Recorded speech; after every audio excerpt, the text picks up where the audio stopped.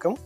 நலம்பெறும் முதிரைகள் மற்றும் விரல்களை மருத்துவர் வரிசையில் இன்றைக்கி நம்ம பார்க்க போகிறது வந்து முகம் பொலிவாக இருப்பதற்கு என்ன செய்ய வேண்டும் அப்படின்றத பார்க்க போகிறோம் இதுக்கு முகப்பொலிவின்மை அப்படின்னு ஒரு நோய் அறிகுறி சொல்கிறோம் இந்த முகத்தை பொறுத்த வரைக்கும் பார்த்திங்கன்னா அகத்தில் உள்ளதே முகத்தில் தெரியும் அப்படின்னு சொல்லுவாங்க. அதாவது அகம் அழகாக இருந்தால் முகமும் அழகாக இருக்கும் அப்படின்னு சில குறிப்புகள் இருக்குது முகத்தை பொறுத்த வரைக்கும் நம்ம வந்து எப்படி நம்மளை பராமரிக்கிறோம் அப்படின்றது மற்றவர்கள் நம்மளை வந்து எப்படி நடத்துவார்கள் அல்லது எப்படி மரியாதை கொடுப்பார்கள் நம்மளை எப்படி மதிப்பார்கள் அப்படின்றதுக்கெல்லாம் இந்த முக அழகு ஒரு முக்கியமான ஒரு காரணியாக இருக்கிறது.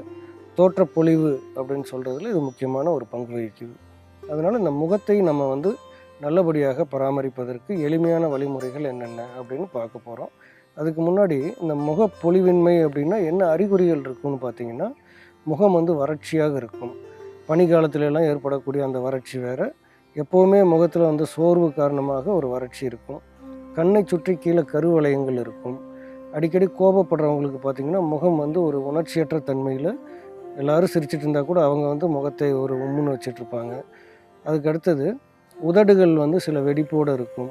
காதுக்கு கீழே வந்து சில அரிப்புகள் ஏற்பட்டு அந்த பக்கவாட்டில் எல்லாம் வந்து தோல் வந்து வெடித்த மாதிரி இருக்கும். இப்படி நிறைய அறிகுறிகளை நம்ம சொல்லிகிட்டே போகலாம். முகப்பொலிவு பெறுவதற்கு நம்மக்கிட்ட மூன்று விதமான முத்திரைகளை வரிசையை நம்ம செய்ய போகிறோம் முதல் முத்திரை வந்து உணர்ச்சி முத்திரைன்னு ஒன்று இரண்டாவது வருண முத்திரை. மூன்றாவது கணேச முத்திரை. இந்த மூணு முத்திரைகளையும் வரிசைப்படி நம்ம செஞ்சு காட்ட போகிறோம் முதல் முத்திரை பாருங்கள் உங்களுடைய வலது கையினுடைய நான்கு விரல்களையும் மடித்து பெருவிரல் இப்படி வச்சுருக்கணும். இடது கையினுடைய உள்ளங்கையில் இந்த பெருவிரலை இப்படி மூடி பிடிச்சிக்கணும். இந்த முத்திரைக்கு பேர் உணர்ச்சி முத்திரை. இது வந்து கோபத்தை குறைப்பதற்கு உடனடியாக பலன் தரக்கூடிய ஒரு அற்புதமான முதிரை ரொம்ப கோபமாக இருக்கீங்க அப்படின்னா உடனே இப்படி பிடிச்சிங்கன்னா கோபம் குறைஞ்சிரும். அது எந்த விதமான கோபமாக இருந்தாலும் சரி.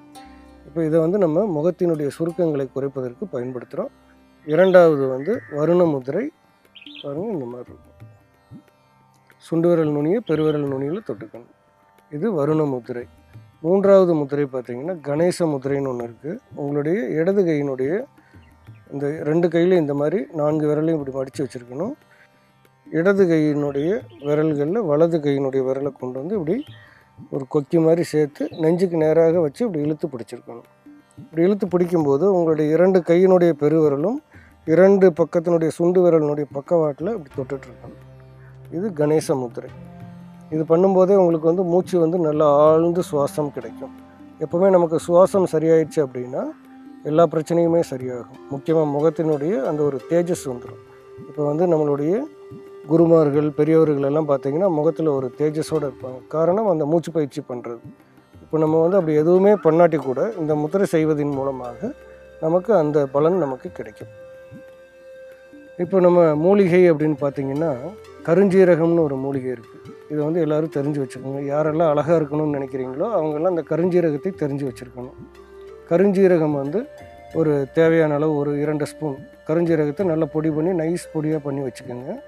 அதில் ஒரு இரண்டு ஸ்பூன் பொடி எடுத்துட்டு தேங்காய் பால் கொஞ்சம் எடுத்து அதில் கலந்து பேஸ்ட் மாதிரி ஆக்கிட்டு முகத்தில் ஃபுல்லாக நீங்கள் போட்டுக்கணும் முழுவதுமாக கழுத்து பகுதியில் எல்லாம் போட்டுக்கணும் கண்ணு கருவளையம் இருந்தால் கண்ணை மட்டும் விட்டுட்டு சுற்றி போட்டுக்கோங்க.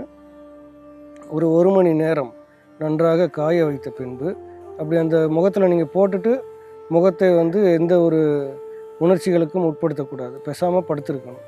நீங்கள் முகத்தில் போட்டுட்டு சமையல் பண்ணுற வேலை செய்கிறது புத்தகம் படிக்கிற வேலை செய்கிறது தொலைக்காட்சி பார்க்குறது இந்த மாதிரிலாம் பண்ணிட்டு இருந்தீங்கன்னா உணர்ச்சிகள் மாறும் பொழுது முகத்தில் அந்த சுருக்கங்கள் மறுபடியும் வர்றதுக்கு வாய்ப்பு இருக்கும். எனவே அந்த பசையை போட்டுட்டு அமைதியாக ஒரு ஓய்வில் இருங்க. ஒரு அரை மணி நேரம். அதுக்கப்புறம் வெது வெதுப்பான தண்ணீரில் முகத்தை கழுவிட்டு மறுபடியும் குளிர்ச்சியான தண்ணியில் முகத்தை கழுவுங்க. ஒரு வாரம் நீங்கள் செஞ்சுட்டு வந்தீங்கன்னா முகம் வந்து மிகவும் அழகாக மாறிடும். இந்த தேங்காய் பால் எடுக்க முடியாதவங்க அதுக்கு பதிலாக எலுமிச்சை சாறுங்க நம்ம பயன்படுத்தலாம். கருஞ்சீரகமும் எலுமிச்சை சாறும் அல்லது கருஞ்சீரகமும் தேங்காய் பாலும். பயன்படுத்தி பாருங்கள் இந்த மூணு முத்திரையும் செஞ்சு பாருங்கள் உங்களை பார்க்குறவங்களுக்கு ஏற்கனவே பார்த்துட்டு இருந்தவங்க எல்லாருமே புதிதாக உங்களை பார்ப்பதற்கான ஒரு வாய்ப்பு கிடைக்கும்.